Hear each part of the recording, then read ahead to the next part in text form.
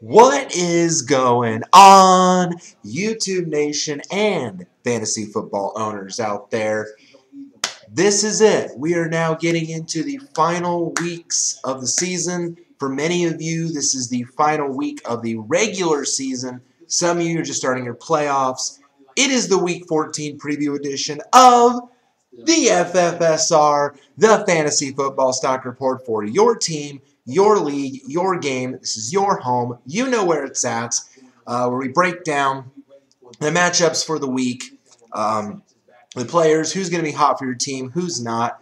Um, for me, this is a really critical week, and for my co-owners, uh, for our team, um, we lost a tough one last week, so now basically it all boils down to this week for us. As I mentioned in the open last week, uh, didn't want to think about that, but it happened. Our players really all had a tough week. Our Cowboys didn't show. They bounced back last night, Thursday Night Football. They bounced back in a big way, so that was huge. As I, as I mentioned on the channel, I really liked the, the Dallas and, and players to bounce back, and they did, so that was huge. Um, Although Cole Beasley, I don't think anybody started him in fantasy, though. He was kind of a surprise with two touchdowns, or Joseph Randle, or Gavin Escobar. Vulture some touchdowns from some guys. But, uh, um, so that was that was huge, obviously. So big week for me. If I win, I'm in the playoffs. I'll be the probably the three or the four seed. Um, if we lose, we're likely out unless we get a lot, a lot, a lot, a lot of help. So um, that's where we stand. Hopefully, again, you guys are in a very similar position. Otherwise, why would you be watching this video? no, just kidding. Um, but uh, or again, you're you're trying to play you know spoiler to somebody or something along those lines. So um, let's just uh, first, as we always do, we take a look at the matchups and really kind of what jumps out at me um, before we go uh, position by position uh, breakdown according to the matchups or the numbers this week, a lot of these matchups seem really, like, really one-sided. Uh, not, not like, not like a sweep of, of the numbers one-sided, but very, very much uh, one-sided. Um, uh, for last night, the numbers heavily favored Dallas over Chicago, and that's what happened. Dallas completely uh, dominated. Um, you know, Romo had three touchdown passes. Um, Bryant was held without a touchdown for the second straight week, which is a bit of a concern, but he's still Tony Romo's top option. You can't really uh, discredit him. DeMarco Murray had another big game. Um, you know, so that was that was obviously huge. Um, and Chicago just kind of got away from the run, and I and I put it on Twitter, and I will say it here. I don't have to bring out Mob Guy because my Matt Forte rant was justified. He was shut down last week by Detroit. and He didn't come close to 16 points. He got five.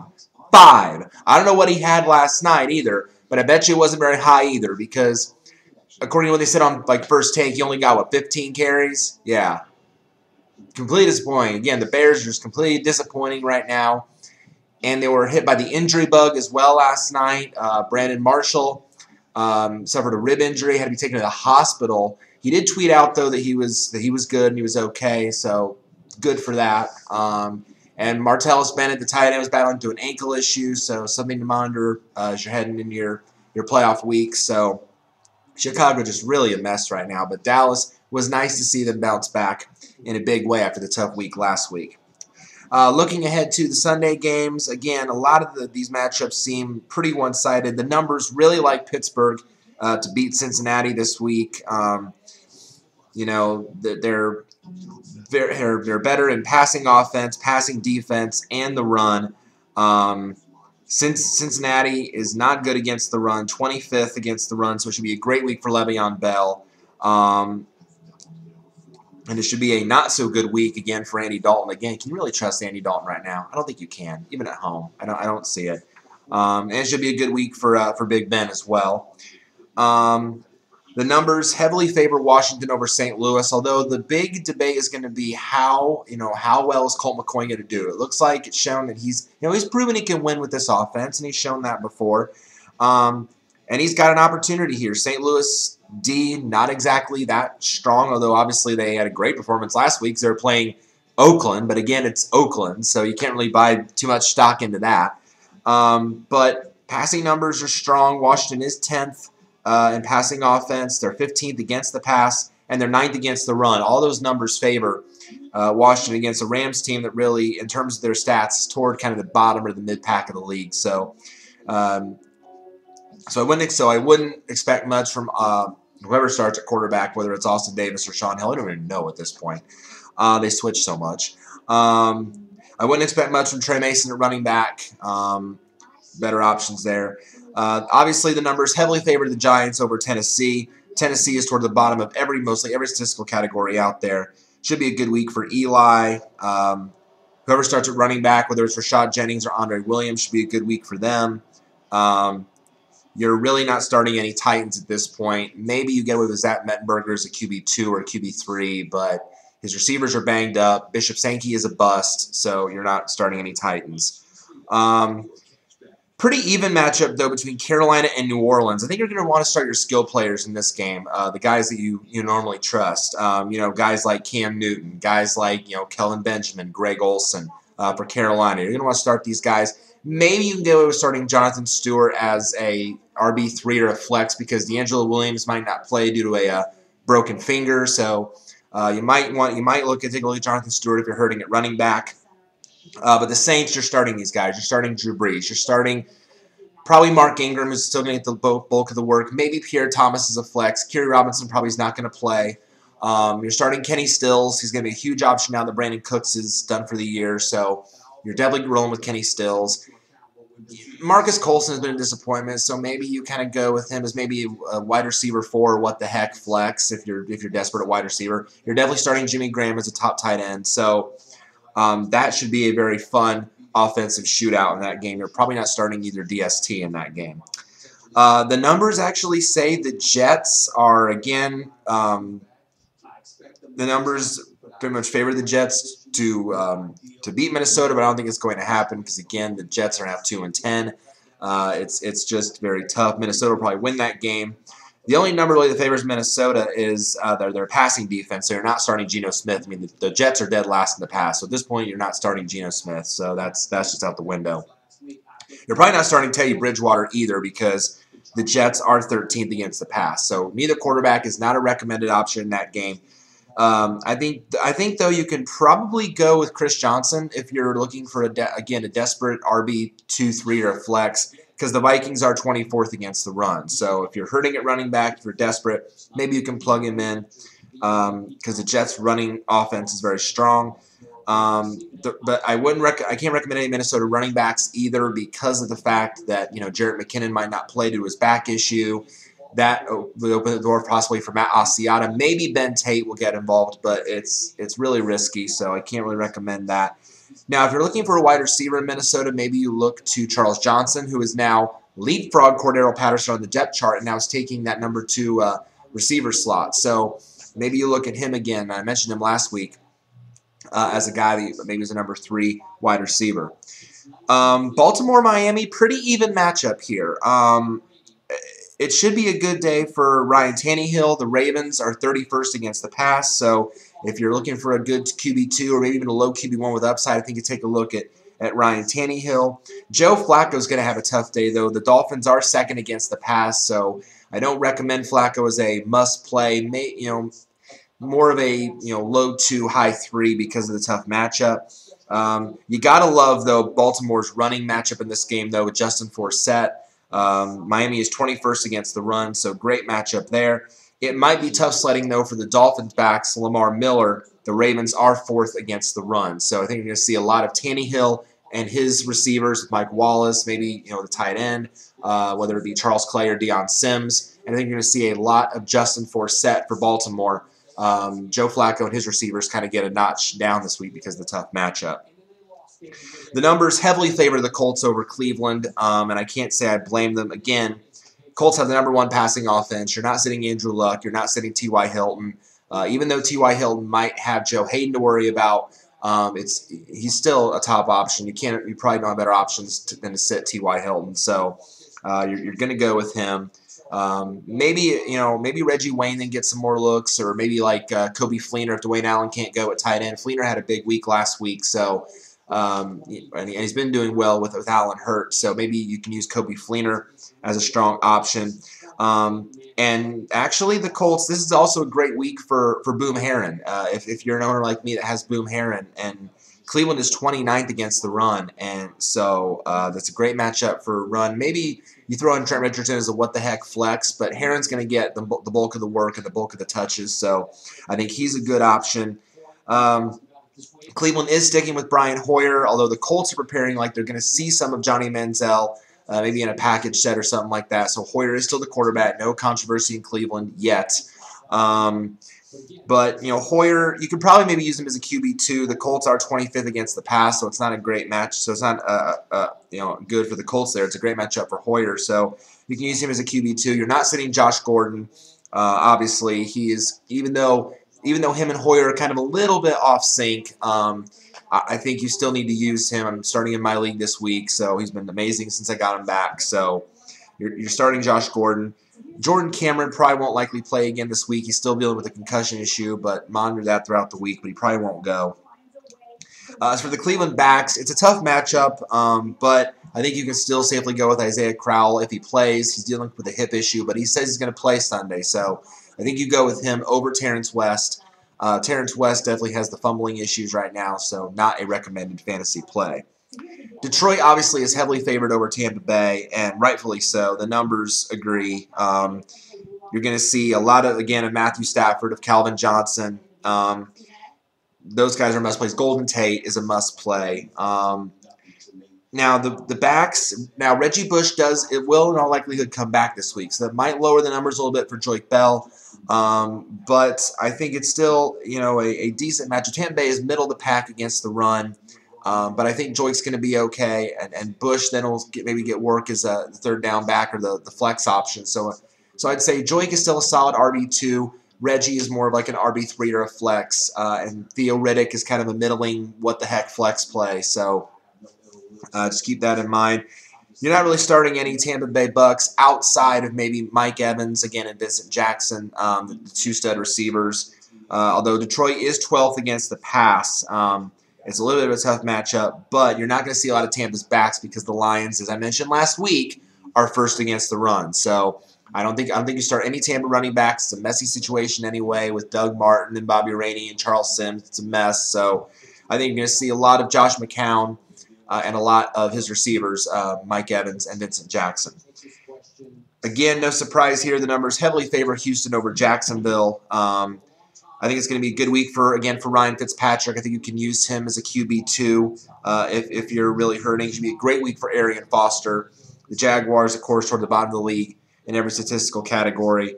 So start your Texans. Um, if only we could start J.J. Watt as a wide receiver tight end. That would be just insane. J.J. Watt, he's been ridiculous this year. Why he's not getting more talk for MVP, I don't know. But he should. He should be.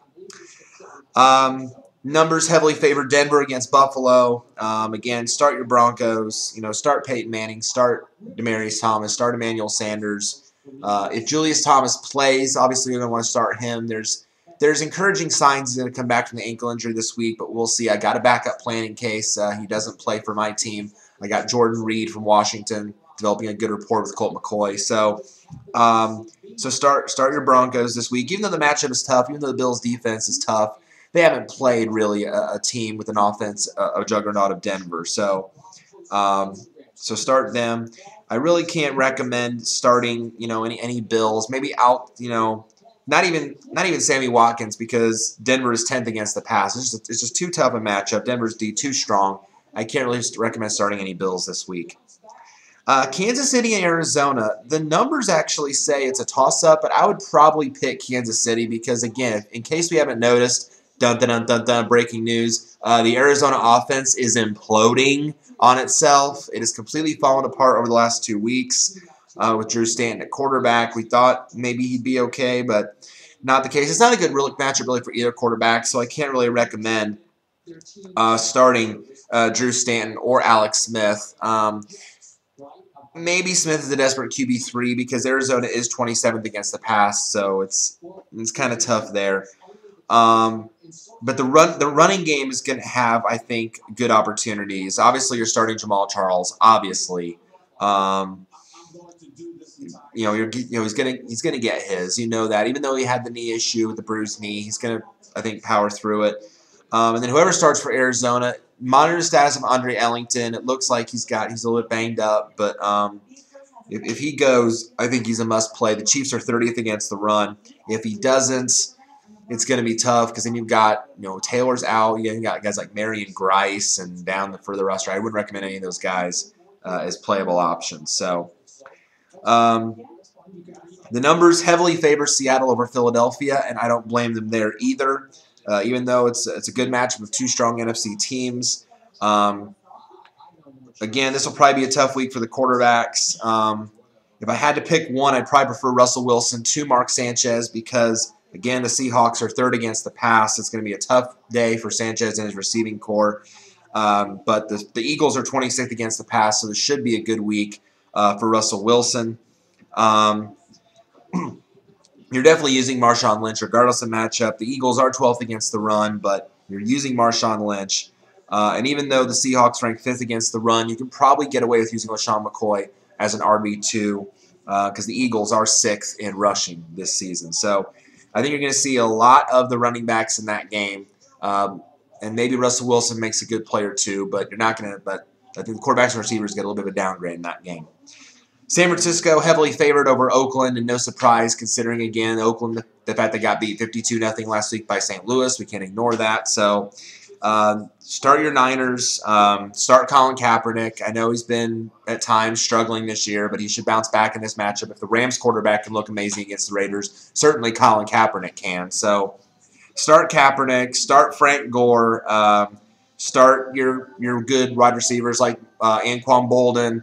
Um, maybe Michael Crabtree is a three. Um, maybe not Vernon Davis because he struggled most of the year, but you know maybe what the heck tight end two three play if you're desperate. Um, so yeah, start your Niners this week for sure. Um, fun game is going to be New England San Diego. That's going to be an entertaining one to watch, and the numbers are actually pretty even in this one, but they slightly favor the Chargers. Um, Philip Rivers should have a big week this week. The Patriots are 23rd against the pass, so uh, it should be a good week for Philip Rivers. Is a low one, high two. Obviously, you're starting Tom Brady. There's no discussion of that there. The Chargers, excuse me, the Chargers are strong against the pass. They're ranked seventh, but you're not sitting Tom Brady at this point in the season. The running game, though, the running game might struggle for both sides. Both teams are pretty decent against the run. New England, you don't know what they're going to do at running back. It's kind of a mixed bag, so I would avoid that altogether. Maybe Shane Vereen is the safest play, but between Jonas Gray, LeGarrette Blunt, and Brandon Bolden, it's it's a mess. So I would say Vereen really is the only one you really trust as an RB two. Maybe Blunt as a three or a flex. Maybe and Gray as a four. So you know what the heck. Um, but with San Diego, if you start anybody, it's Ryan Mathews if he's healthy. Um, but temper expectation, maybe more of an RB3 because the matchup is so tough. And then finally on Monday night, you've got Atlanta and Green Bay. You're probably going to want to start your skill players in this game because the defenses really on both sides are pretty much atrocious, except for Green Bay's pass defense. Um, you're starting Aaron Rodgers and his receivers because the Falcons are 32nd against the pass. It's going to be feast day for Aaron Rodgers and, and company because they're going to feast on that. So start Aaron Rodgers, start Jordy Nelson, start Randall Cobb. Maybe even start Davante Adams as a, as a uh, wide receiver three or four. Um, you know, start start those guys and start your running backs. Start Eddie Lacy. Start even Steven Jackson because the running games are these, these are terrible. Green Bay is 28th against the run and Atlanta's 20th. So it's going to be a big day for the running backs there in that matchup too. So start your Falcons and start your Packers for that Monday night game. So good matchups across the board, some tough ones as well. Um, but let's look at position by position real quick. Hmm. Hopefully there won't be any wild disagreements this week, unlike last week with Matt Forte. All right. Quarterbacks. Um, top five this week: uh, Andrew Luck, Aaron Rodgers, Drew Brees, Peyton Manning, Tom Brady. No, no qualms with any of those. These guys, of course, have been cornerstones all season long. Um, I think probably the best of that bunch is going to be Rodgers, just because of the fact that again the matchup, you know, 32nd against the pass. I mean, it's it's a dream matchup. I'm surprised Rodgers isn't one because when because Luck going up against Cleveland, Cleveland as you as we know has a decent secondary. Cleveland is eighth against the pass, so that you know the fact you got Joe Haden, Buster Skrine, you know some really good guys in that secondary in Cleveland. So that worries me a little bit, but I still think Luck's going to get his points. Um, you know, maybe I don't know. I maybe I'd put Rodgers one, and then I'd put Brees two, barely above Luck, just because of the matchup. So I'd probably go Rodgers, Brees, Luck, but then I'd go then I'd keep Manning and Brady where they're at because I, they're matchup proof. I, I don't think I'm not worried about the San Diego matchup for Brady. I'm not worried about Buffalo for Peyton playing, even though they're good past these. They get they find a way to get their points. So. Um, I would have them in the bottom of that group based on matchup, but I, I see I put the guys with the easier matchups ahead of those guys. So I think Rodgers and Brees are safer plays. I would have them further ahead of, of Luck, Manning, and Brady, but there's I think they're still going to get uh, their share of points. I think you guys can go ahead and start those guys. Um, six through ten. Um, now that we pull the Thursday night guys out of the conversation, looks like Matthew Stafford, Andy Dalton. Russell Wilson, Ryan Tannehill, Colin Kaepernick. Um, as I mentioned, love Stafford this week. I think he's ranked right where he should be. I, I think, again, Tampa, terrible against the pass, 21st. It's in Detroit, playing at home. That's where Matthew Stafford seems to be the most comfortable. I love his matchup. Um, I, and then after that, Dalton's projected for 23 against Pittsburgh. I don't know how he can get to that. I I mean, I understand it's at home, and I understand you know you're you know you're playing in Cincinnati and you're better at home, but he's the, the Bengals are 24th in passing offense, and the Steelers are 16th against the pass. I I don't know how I can have him that highly rated. I especially not above Russell Wilson. Especially, I, I don't even know if I can put him above Tannehill, really. Baltimore's 31st against the pass. I, I would knock Dalton down a few notches. I mean, he's been so hard to trust in these last few weeks of the season. So I would probably go Stafford. I'll, I'll put I'll say I'll say Stafford. I'll put Tannehill seventh because I really you know his, his match with Baltimore is great. He's playing at home. The Dolphins right now have the sixth spot in the AFC. They want to hold on to that. He's played well of late. He's going to exploit that Baltimore secondary, I think. He's got weapons there with Mike Wallace and Jarvis Landry coming along strong. Um, and his tight ends, whether it be Dion Sims or Charles Clay, he's got weapons there. So I'll say Stafford, Tannehill, Wilson barely above Kaepernick, not by much, but just because of the fact, you know, I think that Wilson's going to have his opportunities against Philly. Kaepernick's certainly going to have his opportunities against the Raiders. So that's really a coin flip. But I'll say Stafford, Tannehill, Wilson, Kaepernick, and then Dalton I have to put 10th because I just think Dalton is rated a little bit too high considering the matchup and the fact that he's just struggled uh, of late. So, but I love Stafford's matchup. I love Tannehill's matchup. I think those guys are definitely strong starts, and I love Colin Kaepernick's matchup. And so I think you can use Russell Wilson as a QB1, QB2. But I think those first three that I mentioned, Stafford, Tannehill, Kaepernick, get those three in your lineup. I think they're going to pay big dividends for you. I'm a little worried about, uh, as Colin Cowherd calls him, uh, the beige water pistol. Uh, next five, um, Eli Manning, Philip Rivers, Teddy Bridgewater, Mark Sanchez, Matt Ryan. Um, Eli Manning's matchup obviously is a dream matchup, and I think he's ranked right where he should be out of this group because, again, the Tennessee defense is a dumpster fire. It is basically terrible. The Titans are already out of playoff contention. They're a really, really bad football team, and I don't know. I don't know if it's Jets level bad or Oakland level bad or Jacksonville level bad, but it's pretty close. Tennessee is pretty much right in that general discussion. So now the passing D is actually Tennessee's strongest suit. They're 18th against the pass, which is you know a little bit below mid tier, but I think Eli's going to have his his chances in this game uh, to do. And obviously, when you've got guys like an Odell Beckham that can make ridiculous catches uh, like a Rueben Randle, like a Larry Donnell at tight end, um, you're going to get opportunities against Tennessee. So I love Eli Manning's matchup. I think certainly he is a serviceable uh, QB1, QB2 for you this week. Um, I think Philip Rivers is in a good uh, spot. I think I have no disagreement with him uh, in that in that spot. Um, I think you can use him as a QB two against New England. Um, you know, so maybe not a must start, but again, but the benefit is at home. New England is 23rd against the pass. He's, he's getting opportunities. He, I mean, shoot, a couple weeks ago he made Baltimore again. He exploited Baltimore secondary amazingly well. So, excuse me. So he's got that going for him. He's got plenty of weapons there in San Diego uh, with Keenan Allen and Antonio Gates and, and the like. So Philip Rivers, I think, is in a good position there. I think I have no qualm over where he's ranked um, out of that group. So I think that's good. So, but the next three, Bridgewater, Sanchez, and Ryan. Um, I would say I'd probably put Sanchez. Well, I'd probably knock Sanchez down a notch. I would probably put Matt Ryan ahead of Mark Sanchez. I think Bridgewater at, at 13, you know, is is okay because again, it's the Jets and they've really given up on the year. Even though their pass D is strong, um, you know, it's it's it's going to be it is it is a tough matchup. Um,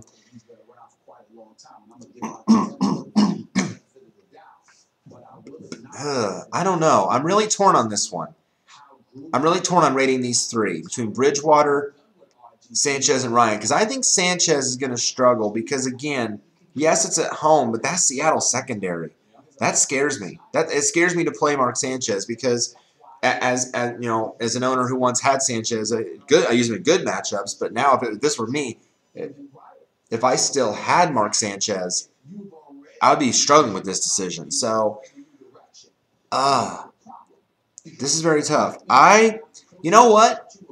I would probably put Ryan ahead of both of them. I would put Matt Ryan ahead of both uh, Teddy Bridgewater and Mark Sanchez. I think it's just going to be a tough week uh, for both for both those quarterbacks. I think it's just going to be a, big challenge because you're going against really good secondaries, and you're and even though you're playing at home, it's it's it's just very very tough. So I would say out of that group of five, Eli and Rivers love their matchups. I think they're must starts. But then if you're looking more for like QB2, QB3s, I would go Ryan, then Bridgewater, and then Mark Sanchez. And I understand the Philly offense is strong, but they going up against a Seattle team that's really gotten hot of late. And that secondary is really scary. So, and plus, I bet Richard Sherman is going to be all over Jeremy Maclin. But on the flip side, that opens up opportunities for Jordan Matthews, who is one of Mark Sanchez's favorite targets. So, eh, it's a coin flip. I think between Sanchez and Bridgewater, kind of pick your poison. It's a coin flip. Both are free agents in my league. It's really kind of a eh, which way you want to go. But I think Eli and Rivers are safe QB1s. Ryan is certainly a QB2 with upside. And Bridgewater Sanchez, if you want to take the risk, it's it's risky. It's really risky, I think, on both of them. But I'd like I'd rate Bridgewater slightly ahead of Sanchez, but only based on the matchup alone. Uh, 16 through 20, um, Cam Newton, Zach Mettenberger, Ben Roethlisberger, Alex Smith, Ryan Fitzpatrick. So we're really digging deep at this point. Uh, I think you got to start Cam Newton against the Saints. I think that's to me. I, I'm surprised he's rated that low. I might even put Newton ahead of Bridgewater uh, Sanchez, and Matt Ryan. I'd probably put him above those three uh, because again, the matchup with New Orleans, even though you're playing, even though you're playing in New Orleans, the Saints secondary is awful. It has been awful, and we've known that for the past few years. So I think Cam Newton's going to have numerous chances to hook up with his top weapons in Kelvin Benjamin, in Greg Olsen. I think I think you've got to go with Cam Newton uh, in this matchup. So I think I would rate him above those bottom those three that I mentioned on 13, 14, 15. I'd put him probably at 13, and then I'd probably put Newton there, and then go Ryan, Bridgewater, Sanchez, 14, 15, 16. So I think Newton's a little low on that list. I'd put him a little bit higher. I think Newton is a very safe play this week. Um, again, I mentioned Zach Mettenberger. The Giants' pass D is nothing really that special. I mean, it is they are 19th in the league, so you know, maybe maybe you get away with the Mettenberger as a what the heck QB two or three, but I'm not I'm not in love with the matchup. Um, now Roethlisberger against Cincinnati. I, would say that's a pretty good one to maybe to use as a strong QB two. The Bengals are 14th against the pass. I'd probably put Roethlisberger ahead of Mettenberger just because the fact that Tennessee's struggling. Um, now, would I put Alex Smith above Mettenberger? Yeah, I think I would too, actually. And shoot, I think Mettenberger would probably be on the bottom of that list because I because then you got Ryan Fitzpatrick, and Ryan Fitzpatrick is actually doing pretty well in Houston, and he's got a great matchup with Jacksonville this week. So actually, I would drop Mettenberger down all the way at the bottom of that list. I'd put I'd, I'd, I'd move Newton up to 13th. So so so let's so I'd have Eli Rivers 11 12. I'd have Newton at 13. Then Ryan, Bridgewater, Sanchez 14, 15, 16. And then Roethlisberger's at 17. Smith at 18. Fitzpatrick at 19. And then Mettenberger at 20 um, I, I, think is how I would rate um, those. I, I, think out of that bunch, you know, I think if you're looking for someone to, you know, for a QB two with a matchup that you can exploit, maybe you go with Alex Smith or Ryan Fitzpatrick because the, the, it's dream matchups. Even though they're on the road, both Arizona and Jacksonville struggling, struggle against the pass. So I think those are matchups that you can exploit. So I like either of those guys uh, as decent starting option, uh, options at QB uh, for, for like a two quarterback league or a QB with upside if you're uh, if you're looking for some help uh, at quarterback. And then at this point, we're really uh, we're really digging deep. if, once we get to these guys, you're probably not starting any of these guys in the vast majority of your league. Um, but, but below Fitzpatrick, you're looking at the next group is Colt McCoy, Shaun Hill, Joe Flacco, Drew Stanton, Josh McCown. That's the next five. Um, out of that bunch, um, if if I'm starting anybody out of that group, it's probably I hate to say it, it's probably Colt McCoy because again the matchups the other four are just too tough. You're not starting Shaun Hill against Washington. Washington's 15th against the pass, and even though you had a great week against Oakland, I mean, it, it's, you know, and he's finding some decent talent with the Rams players. It It's a whole different team and a whole different environment. They're not going to get the same opportunities they had against Oakland. I don't think you can trust Joe Flacco against the second-ranked Miami pass defense. I don't think you can do it. I don't have him as a recommended play because it's just way too tough a matchup. Obviously, at this point, you're not starting Drew Stanton because Arizona's offense has gone into the toilet, and you're not starting Josh McCown in Detroit. I mean, and I and you know you might start his receivers because you know they might have a decent week. You know, maybe as a wide receiver two or three with Mike Evans and Vincent Jackson, but you I don't think you can trust Josh McCown to put up decent fantasy numbers, especially starting fantasy numbers for your team. So if you had to pick one out of that group, it probably would be Colt McCoy. So really, I have no qualm with any of those rankings because I can't recommend any one of those guys below Colt McCoy to be put ahead of him.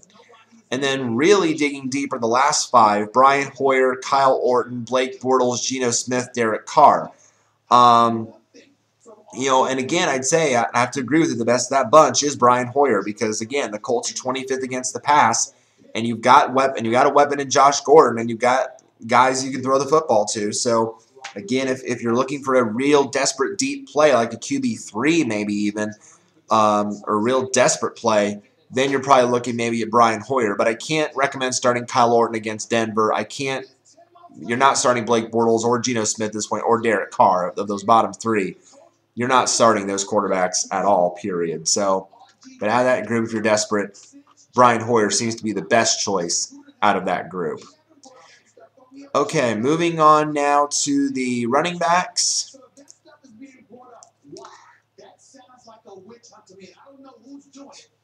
A witch hunt. Oh, they're talking about the Washington quarterback situation. Colt McCoy's a decent play this week. What more can I say? I'd be surprised if Griffin is still in Washington next year, to tell you the truth. All right, top five. Uh, again, and this is taking out the guys that played on Thursday night from uh, Dallas and Chicago. Um, Arian Foster, Marshawn Lynch, Eddie Lacy, Jamaal Charles, and C.J. Anderson. Um, a couple of these guys are banged up. Um, Arian Foster, again, the groin um, is a bit of an issue. Um, he's been limited in practice, so right now he is listed as questionable. But whoever plays for Houston at running back, whether it's Arian Foster, whether it's Alfred Blue, is a must start against the Jags, obviously, because of the great matchup. So, Arian Foster, I don't mind him being the top back. Um, Marshawn Lynch, um, he was limited in practice uh, yesterday um, with a back issue. So he right now is listed as questionable for this week. So monitor that. But if but if he plays, obviously you're playing against Philadelphia. So because of the uncertainty of those guys, I would probably then, you know, just based on matchup alone, you're I agree. Foster one, Lynch two. But because he's healthy, I would probably put Eddie Lacy up at number one because again, as I mentioned, the Packers run defense, or I'm sorry, the, the Falcons run defense is terrible. The Packers is bad too, but Falcons are 20th against the run. Opportunities abound for big points from Green Bay guys this week, especially Eddie Lacy. So actually, I would probably have him at one. I'd put him above Foster and Lynch just because of the fact of the uncertainty with their health this week. But if, if Foster and Lynch play, obviously they're must-start options. Um, but I would put Lacy right now at one because of the uncertainty of those guys. Um, Jamaal Charles, as I mentioned, even though the matchup is tough with Arizona, uh, sixth-rate run defense, he finds a way to still get his. The knee has been the issue, but full practice this week. He's going to play. The Chiefs are hoping to give him even more touches in these last few weeks of the season, so I think you can safely roll with Jamaal Charles. And then C.J. Anderson of Denver. Um,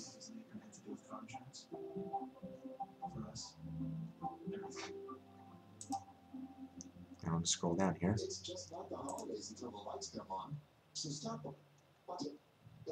There we go. Uh, C.J. Anderson, full practice this week. He was dealing with an bit of an ankle issue, but he's listed as probable, so he's going to play. Um, Buffalo is rated seventh against the run, but again, C.J. Anderson is, is the only back, Denver, healthy back, really, at Denver. Well, healthy, quote unquote, but he's really the only back that can really play right now for Denver. So you probably can't afford to see C.J. Anderson. So I would say, as of right now, based on the health status and health situation that you want to monitor, I'd say right now Eddie Lacy is one. I'd say Foster's two. Lynch is three. If they play, I would say Charles is four, and I'd probably say Anderson is five. I would say that's that's a pretty good uh, rank. You know, no qualms any of those. If all those guys play, they need to be in your lineups. They're they're must start guys.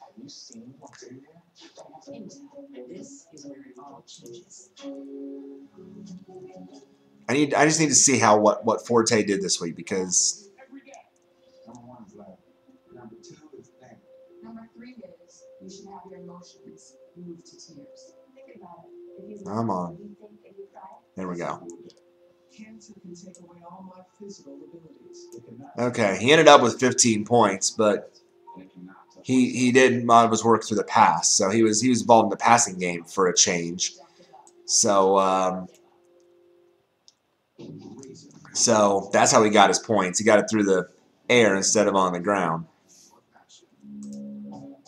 So hey, I guess however you can do it, but so he so he so Forte bounced back. So he got to the where he was supposed to be rejected this week. So, but I knew it wasn't going to happen against Detroit, but against Dallas, yeah.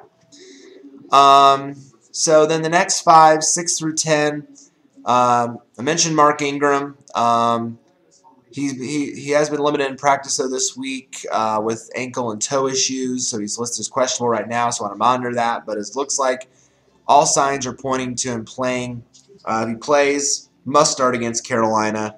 The Panthers, 19th against the run. It's a good matchup for him. Uh, if Rashad Jennings plays against Tennessee, he's obviously a must start. Now, he did not practice yesterday, but he did practice today. He came back to practice today after the uh, dealing with the ankle issue. Um, so he is back in practice. So you want, of course, you want to monitor that. But it looks like if he plays, it's a great matchup. Whoever starts running back for the Giants, whether it's Rashad Jennings or uh, Andre Williams, must start against Tennessee. Fact, I'd probably put Jennings uh, ahead of Mark Ingram. I probably would. So I'll put Jennings ahead of Ingram. Um, but Le'Veon Bell is ranked below both of them, and I don't think I agree with that. I, would say probably out of that bunch, I think Le'Veon Bell is as rock solid as they come. Again, Cincinnati 25th against the run. It's a great week for Le'Veon Bell. I'd probably put him, and Justin Forsett is rated below him, and I'm surprised at that too, um, because again, Miami against the run is 21st. I'd probably put Le'Veon Bell and Justin Forsett above Mark Ingram and Rashad Jennings. Maybe well, maybe not Jennings. If Jennings plays, let's put let's put Jennings in the sandwich. Let's put let's put let's go Bell, Jennings, Forsett, and then go Ingram and then Joique Bell, which is the next name on this list, and he's going to get decent points against Tampa Bay. So. So I'll say Le'Veon Bell, I have him at 11. I think he's a must start. I'd say Rashad Jennings at 12 if he plays, must start. Justin Forsett, 13 if he plays, he's a, he's a good starting option. Then Mark Ingram at 14, if he plays, I think he's a good starting option. And then Joique Bell, 15 at Tampa Bay, is, is a good RB2 um, with some upside. So I would say Bell is an RB1, must start. Jennings, RB1 or 2 if he plays. Forsett uh, is, an, is an RB2 if he plays. But he did not practice because of a knee. Although, okay, he was out of practice Thursday. He came back to practice today. So it looks like he's going to play. So I'd say he's an RB2 against Miami with, with upside. Then Ingram, if he plays, RB2 with upside. And then Joique Bell, kind of in the same boat.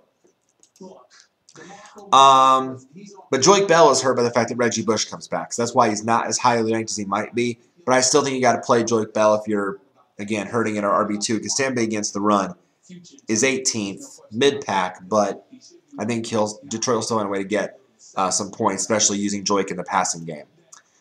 Uh, next five, uh, Jeremy Hill, Isaiah Crowell, Frank Gore, Tre Mason, LeSean McCoy. Again, out of that group, I think, again, because of the matchup, I think you have to look at Frank Gore here. And I know Frank Gore has been inconsistent and hit or miss most of this season because, again, he's getting up there in age. He's been spelled by Carlos Hyde. But again, it's Oakland. It's Oakland for gosh sake. If the Rams can put up 52 on them, and if rookie Tre Mason can do what he did to them, there's got to be opportunities for Frank Gore in this game. There just has to be. So I think Frank Gore probably is the best of that bunch. I think you can start Frank Gore this week if you have a concern. Um, even CBS says Frank Gore worth a shot this week. Well, I, I, I have to agree with that. I certainly think he's worth a shot too. So I think you can put Frank Gore in uh, as definitely a low one, high two with upside based on this great matchup. Um, and then, boy, then it gets really tough because then you're kind of really digging here at this point. Maybe you put LeSean McCoy second out of that bunch just because of the fact that he's, you know, veteran, experienced. Yes, you're playing Seattle, and yes, Seattle is fifth against the run, but I don't think you can really afford to sit Sean McCoy at this point. So I would probably put Gore first out of that bunch, then McCoy. Then I'd probably put Jeremy Hill of Cincinnati. Pittsburgh is 11th against the run. We're getting really into tough matchups with these guys at this point. Then I'd put Hill. Then I'd put Crowell of Cleveland. And then I'd put Tre Mason. Washington is ninth against the run. That's a bad matchup for Tre Mason. Um, coming off the big game against Oakland, that's really tough on the road. So, um, so I would say probably Gordon McCoy, probably the safest bets of that bunch is you know Q, as RB twos with upside, and then I would go Hill, Crowell, and Mason if you're searching for um, who to start at that position that's where I'd go among those guys. Next five, Ryan Mathews, Boom Herron, Jonathan Stewart, Denard Robinson, Alfred Morris. As I mentioned, I love Boom Herron this week, and I love Jonathan Stewart. I think those guys, I think, are clearly, they're in good matchups. I'd probably put both of them ahead of Ryan Mathews because, again, New England, 14th against the run. It's a tougher matchup. Yes, it's being played in San Diego, but I'm just a little worried about that matchup. Um, it's going to be, uh, I think, a very intense game with those two. So I love Dan Boom Herron. I think he's, you know, this matchup with Cleveland. Cleveland is 29th against the run. It screams no brainer. I think Dan Herron is a definite high upside RB2 this week with Jonathan Stewart right behind him. The Saints are 23rd against the run. I, again, so I put them both above um, Ryan Mathews. Um, I might even put both of them above above Tre Mason. Maybe barely above Crowell. Maybe not so much Jeremy Hill, but I'd probably put them above Tre Mason and Isaiah Crowell this week. Um, because I, I just love their matchups and the fact they're getting they're now getting starting opportunities because no DeAngelo Williams, and even though Trent Richardson is still being worked in in the Colts backfield, he shouldn't, but even though he's still being worked in, Herron's going to get the majority of the touches. So I would go Herron, Stewart, Mathews. I'd probably put Morris ahead of Denard Robinson because Denard Robinson has struggled the past couple weeks. Um, Houston has a tough defense, very, very tough. Uh, the Rams are 16th against the run. Houston 17th, so it's really a coin flip. But I would say Morris is going to get a lot more opportunities than Robinson is. So, so that's how I'll rate those five. Herron, Stewart, really a coin flip between those two as good starting guys. Mathews, maybe a RB2, and then Morris, and then Robinson. That's how I'd rate those guys. Uh, next five, and again, really at this point, we are really, really digging deep into starting options, or more like running back three or flex guys. LeGarrette Blunt, Lamar Miller, Bishop Sankey, Gio Bernard, Latavius Murray. Now, Latavius Murray, again, is an interesting name. We mentioned him, what he did to uh, Kansas City last week, and the blooper I made about getting rocked off. I have to keep bringing that up, you know. Uh, but, uh, but, um, this week, Murray, um, I don't know why CBS is letting me. Here we go. Um, he did practice in full this week, uh, coming off a concussion. Uh, so he is listed as probable right now for the San Francisco game. Um, the Niners are eighth against the run, so that is a tough matchup for Latavius Murray. So that's why I worry about him a little bit. Probably, I would say, out of this group, um, if you had to pick one, probably the safest bet is probably, I hate to say it, but it is probably LeGarrette Blunt.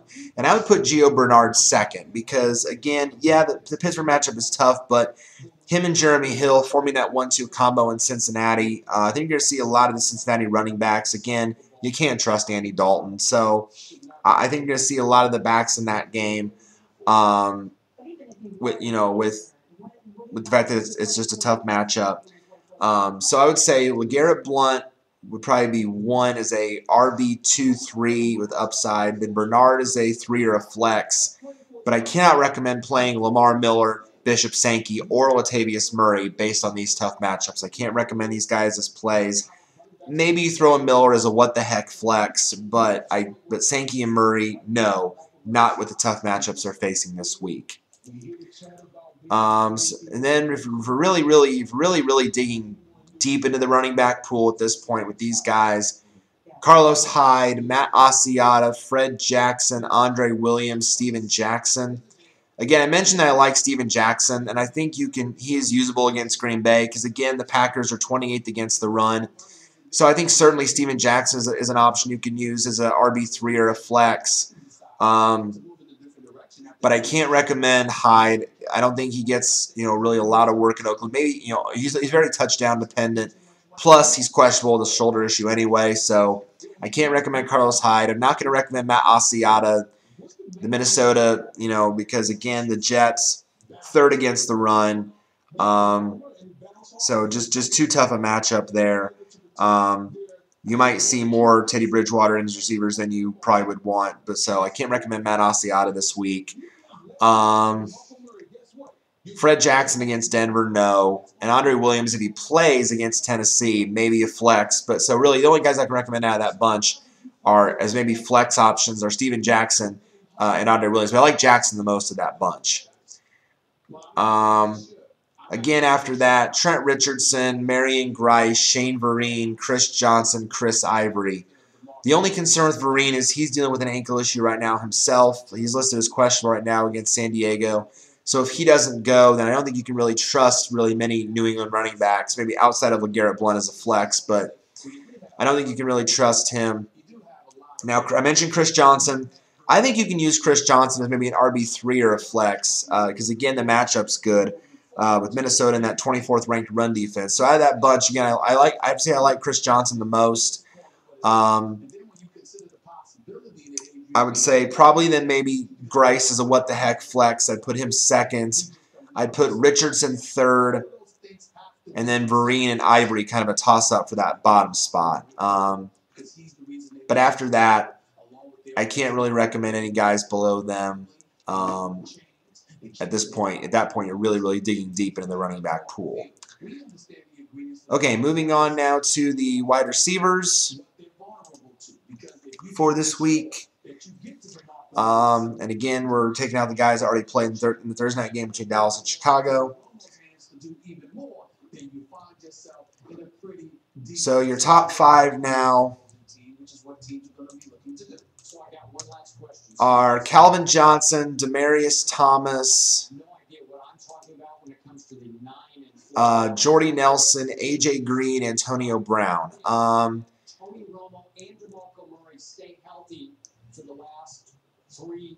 now, Demaryius Thomas, um, from reports, he did not practice with an ankle issue. So right now he's listed as questionable, but so you want to monitor that this week. But in all likelihood, um, if, if he plays, obviously you got to start him against Buffalo.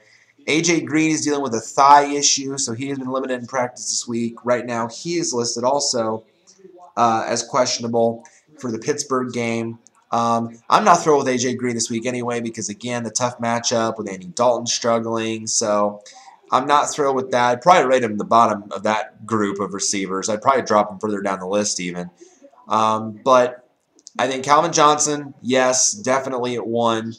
Um, if Demaryius Thomas plays, I might even put Jordy Nelson ahead of Demaryius because again, the Green Bay receiver is going to go off. I put, I'd say Calvin Johnson's one, Jordy Nelson is one B, and Randall Cobb is one C because the Packers receivers are going to go buku on that horrible Falcon secondary, not maybe even non-existent Falcon secondary. So I will say Calvin Johnson one, Jordy Nelson one B, Randall Cobb one C, Demaryius Thomas two. Then I'll put Antonio Brown three. Um, and then you probably put then you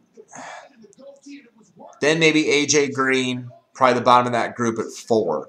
And then Emmanuel Sanders at five. I think any of those guys are you're probably going to start these guys, but again, I worry about the only one I really worry about in that bunch, if he, you know, if these guys all play, is AJ Green because of the fact that you know the tough matchup with Pittsburgh. So that just worries me a little bit. But you probably again, you probably can't afford to sit AJ Green. Just temporary expectations a little bit on AJ Green. So that's how I'd rate uh, that group of guys. Uh, the next five, and again, I think these guys are all safe starting options. Josh Gordon, yes, he's a little off with Brian Hoyer, but he says he's going to get better on that. I'm glad. I think, I think he's glad they stuck to Brian Hoyer because it's better for Josh Gordon. It's a good matchup with the Colts secondary. Um, so I think Josh Gordon's a great play this week. Yes, you start him. Julio Jones, I mentioned, start your Falcons, start your Packers. Um, even though the Packers are 11th against the pass, you're not sitting Julio Jones. You're certainly not sitting Odell Beckham against Tennessee. Maybe I even put Odell Beckham um, ahead of Julio Jones just by one spot. I'd probably go Gordon, Beckham, then Julio, then DeAndre Hopkins of Houston against Jacksonville, another great matchup. He went off last week, and then Kenny Stills great matchup against a non-existent Carolina secondary. So all those guys are safe starting options for you. I don't have really any qualms with any of those guys uh, in terms of where they're at. I think, except maybe I put Beckham one spot ahead of Julio Jones because the matchup is better. But but yes, Gordon, Beckham, Julio, Hopkins, Stills, get those guys in your lineups. Are going to be great plays this week, I think, and we'll win some fantasy games this week. Uh, next five, Kelvin Benjamin, Anquan Boldin, Brandon Marshall, T.Y. Hilton. Um, obviously, Marshall's out of the picture, so because he's already played, but also dealing with the rib issue, so monitor that. So Kelvin Benjamin, Anquan Boldin, T.Y. Hilton, DeSean Jackson, and then Mohamed Sanu. Um, obviously, I agree with Sanu at the bottom of that list because, again, I worry about the Cincinnati receivers. Um, I love Kelvin Benjamin's matchup again with the Saints this week. Um, so I, I, think he's in a good spot there. I like Anquan Boldin there with the, with the Oakland matchup. Yes, I agree with that. I think Benjamin and Boldin are both safe starts this week. Out of the next three, between T.Y. Hilton, DeSean Jackson, and Mohamed Sanu, um, the only Now, the only now the concern with DeSean Jackson, he has now missed three straight practices. He's dealing with a shin issue, so uh, you want to monitor that. If, if if he doesn't play, obviously that means an uptick for Pierre Garcon, for Jordan Reed at tight end. Um, so you want to monitor that. Um, but if if he is a full go, if he does play, um, would I put him ahead of T.Y. Hilton? I might, because I worry about T.Y. Hilton a little bit just because the fact that Joe Haden is probably going to be all over T.Y. Hilton um, for, for that game. So I worry about that a little bit. So, But based on the fact that Jackson is missing practices, I'd have to probably put him lower on my list. So I would probably say I, I agree with, with Benjamin and Boldin. I think they're must starts. I still think you're going to start T.Y. Hilton, even though I'm worried about him a little bit on the matchup. I think you can't afford to sit T.Y. Hilton. I think you can still start him. Just be a little bit worried about the matchup. But I wouldn't say that DeSean Jackson or Mohamed Sanu are recommended plays. Maybe more as wide receiver threes because of their health issues and, again, the fact that they're very tough matchups. Um, and then see the next five are Torrey Smith, Mike Evans, Jordan Matthews, Golden Tate, Jarvis Landry. I would probably put um, I would put Mike Evans ahead of DeSean Jackson and Mohamed Sanu because again, Josh McCown's got to throw, throw to somebody, and Mike Evans is his top option right now. So I would, even though the matchup is tough with Detroit, I think they'll find a way to get his. I put Jordan Matthews ahead of DeSean Jackson and Mohamed Sanu because, again, you're, yes, you're playing Seattle, but Jeremy Maclin is going to be on Richard Sherman. And that, and that is going to give Jordan Matthews more opportunities for Mark Sanchez to throw to. So I think that only helps Matthews. I would put Evans, Matthews, I'd put Golden Tate ahead of those two, and I'd probably put Jarvis Landry ahead of those two. So really, if you look at that group, just of that group of, of, of eight, of Hilton, Jackson, Sanu, Smith, Torrey Smith of Baltimore, Evans, Matthews, Tate, and Landry, I would say Hilton, Evans, Matthews, Tate, Landry. I think all those five guys right there are very safe starting options for you. Hilton, Evans, Matthews, Tate, Landry. The three I worry about are Jackson with his injury, Sanu with the matchup, and Torrey Smith with his matchup against that Miami secondary. So those three I worry about. But the other five of that group I think are really strong starting receivers as wide receiver two and threes. Absolutely. Um, after Landry, you're then looking at guys like Roddy White, Brandon LaFell, Mike Wallace, Jeremy Maclin, and Julian Edelman. A couple of these guys are banged up, though, which again leaves their status in doubt. Roddy White has not practiced with an ankle issue, so he's listed as questionable this week for the Green Bay matchup. Brandon LaFell is battling a shoulder issue, so he's listed as questionable. Mike Wallace, a chest issue, he's listed as questionable. And then Julian Edelman, thigh issue, limited practice. He's listed as questionable. So, really, with these guys, there's a risk involved in starting these guys. Um, but if they all play, if they're all healthy, then I think you can safely start Roddy White against Green Bay. Again, I love the matchup. So I would say I, I agree with Roddy White. Mike Wallace, I think Mike Wallace actually put ahead of Roddy White because the matchup is so great. So I'd go Mike Wallace right below his buddy Jarvis Landry, maybe even right below his, yeah, right below Jarvis Landry. Mike Wallace, Roddy White. I would probably then put LaFell and Edelman kind of in a eh, toss up because, again, that San Diego pass D is strong. But it's nothing going to be compared to what Jeremy Maclin's going to face because he's going to see a lot of Richard Sherman. So I would say if all five of those guys play, if they're all healthy and they all play, then it's Roddy White for me. Then it's Roddy White, Mike Wallace. Or no, I'm sorry, I put Wallace ahead of White. Mike Wallace, Roddy White, Brandon LaFell, Julian Edelman, and then Jeremy Maclin. Because I don't think I can recommend Maclin as a strong play this week because of the tough matchup. Um, after that, the next five, Kendall Wright, Greg Jennings, Marques Colston, Donte Moncrief, Stedman, Bailey. maybe you look at Donte Moncrief here because, again, as I mentioned, Joe Haden's going to be on um, T.Y. Hilton in all likelihood. Reggie Wayne's going to get opportunities. So then Buster Skrine, who is not exactly a great corner, that might he might be on put on Donte Moncrief, and that might give him opportunities to open up and and be impressive. He's already leapfrogged Hakeem Nicks. We know that. So now maybe he gets an opportunity or two to really show himself this week. So again, if you're looking at this point for desperate wide receiver three and fours, I think maybe out of that bunch, Donte Moncrief is the best option. I would say probably Greg Jennings is second of that group. Um, Kendall Wright at Tennessee is dealing with a cracked bone in his hand, so now he's listed as questionable. So again, that's a concern as well. But again, I wouldn't recommend starting any Titans. So I would say out of this group, I would say Moncrief, Greg Jennings. I think either of those guys are are flirting with wide receiver three, wide receiver four status. But after that, I can't recommend Kendall Wright. Not sold on Marques Colston, more of a wide receiver four. Same with Stedman Bailey because the Rams wide receiving corps is mostly a mess. So can't recommend him. Next five, again, really at this point, we're really digging deep into the wide receiver pool, looking for more like wide receiver four or flex guys. Nate Washington, Andre Hawkins, Keenan Allen, Charles Johnson, Marcus Marquise Lee. Again, I would say probably if you're really hurting, the best out of that bunch is probably Charles Johnson. I think you're going to see a lot again of Minnesota's receivers play well because the fact that the, the running matchup is strong. Um, I think Bridgewater's going to have a chance to throw in this game. So I'd say probably Charles Johnson is the best out of that bunch. Maybe a what the heck wide receiver four flex on Nate Washington if you're really hurting or desperate.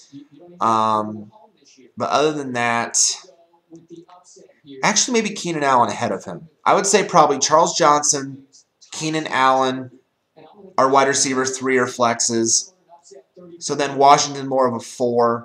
Andrew Hawkins, more of a wide receiver four. Marquise Lee, more of a four, not even recommended at all. So that's that's the way I'd rate uh, that group of five. But then after that, outside of those guys, I can't really recommend anybody else as playable options this week. All right, real quick to finish up here, moving along to the uh, tight ends, kickers, and DSTs for the week. Um, at tight end. Um, top five, no shockers among this group. Jimmy Graham, Rob Gronkowski, Antonio, Antonio Gates, Delanie Walker, Dwayne Allen. Now, so it looks like Allen is listed as coming back. Uh, full practice this week off the ankle, so his list is probable, so it looks like he's going to play. Him and Coby Fleener are actually both rated pretty high. Um, so if you're again, if you're looking, you know, at for a tight end, you know, I think if you have either of those guys, I think you can play him against Cleveland. Allen more of a tight end, you know, one or two. Fleener more of a two.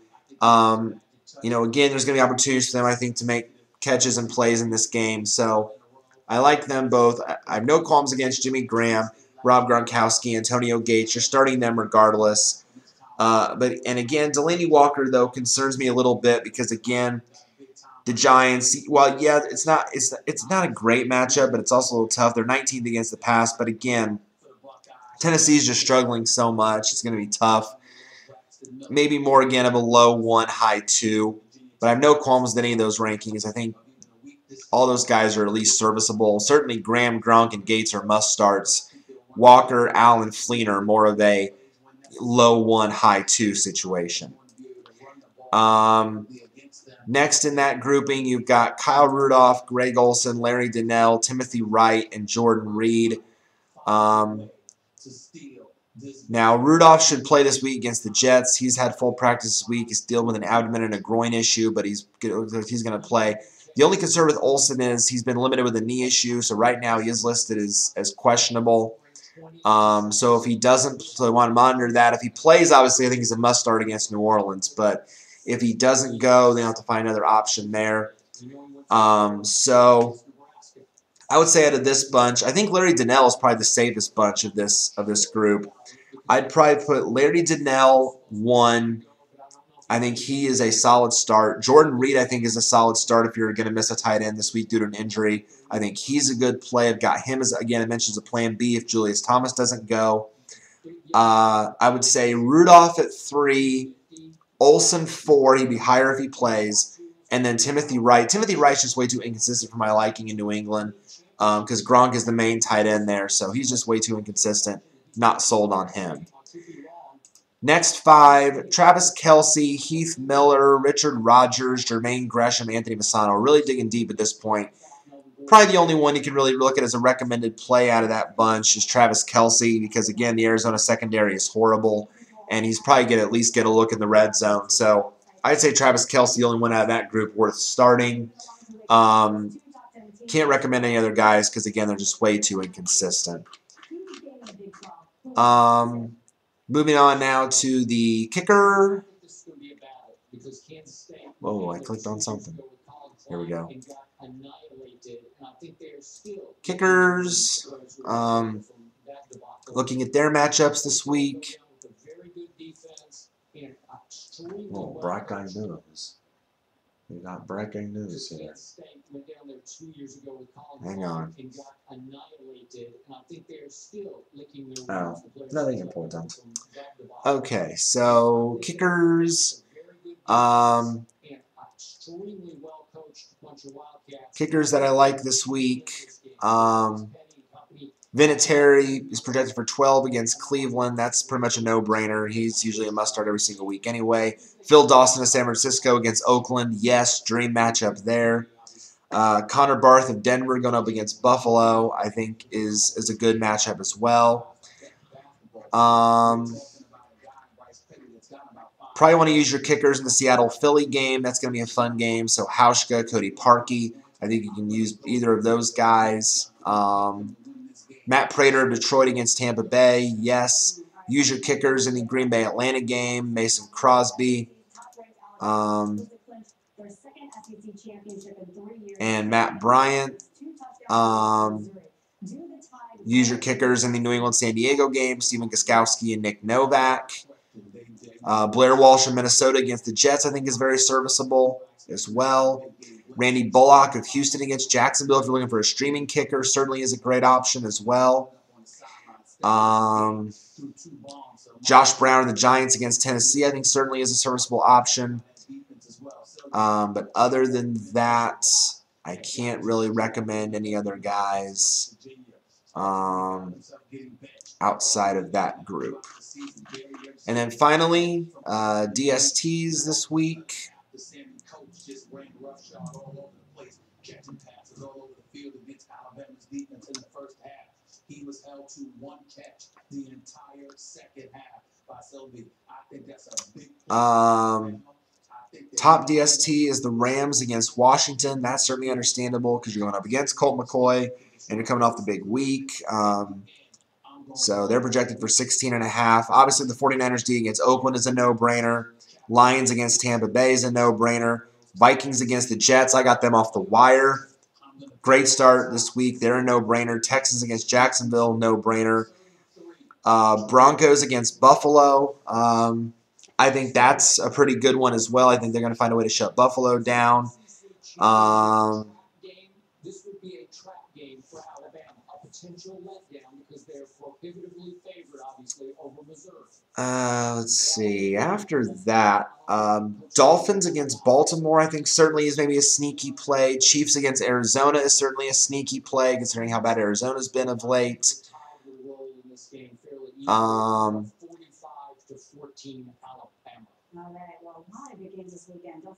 let's see. Uh, Giants against Tennessee could be a sneaky play as well. Um, but other than that, I don't think I can recommend anybody else. Nope, I can't. All right. And with that, that's it. that is it for week 14 of the FFSR preview show Uh, go out there and get a win this week. Good luck to you this week. Uh, again, if you guys have any comments, questions, anything at all, feel free to hit me up in the comment box below this video. Uh, or you could do it on the channel. I'll be checking my Gmail um, leading up again up to uh, kickoff Sunday. So uh, feel free to do that as always. God bless you guys. Uh, have a great week, and we will tune in next week when most of us start playoffs. Playoffs. Yes, playoffs.